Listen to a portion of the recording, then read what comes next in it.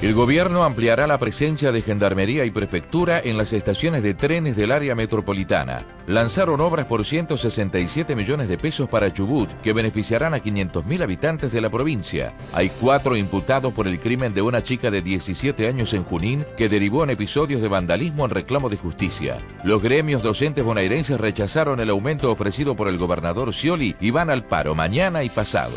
Carolina Píparo reconoció al acusado Carlos Moreno como el delincuente que le disparó durante el asalto que sufrió en el 2010. Recusaron al juez de la causa y se suspendió la indagatoria al narco que gozaba de la protección del ex jefe de la policía de Santa Fe. Se oficializó el aumento del 15,1% de las jubilaciones mínimas en el marco de la ley de movilidad jubilatoria. Nicolás Maduro formalizó su inscripción como candidato a presidente de cara a las elecciones del 14 de abril en Venezuela. Lanús recibe a Arsenal en el cierre de la quinta fecha del el torneo final y si gana será puntero absoluto del campeonato.